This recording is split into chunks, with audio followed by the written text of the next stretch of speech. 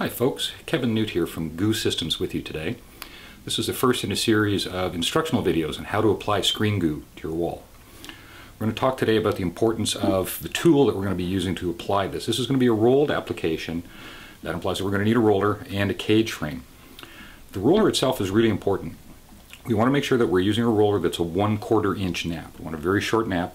We want to make sure that it's either a wool poly blend or a microfiber roller, and we want to make sure that it's lint free.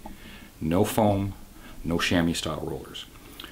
Now, the other thing that we need to know about the roller refill itself is that it has an orientation. In other words, if you rotate it or roll it in one direction, the fibers want to stand up. If you roll it in the opposite direction, sorry, fibers want to lay down. If you roll it in the opposite direction, the fibers want to stand up. Now what we want to do is we want to orient this roller refill on the cage frame in such a way that when we're doing a downward stroke, it's actually laying those fibers down. Okay, and now we're ready to move on to actually putting some paint on the wall.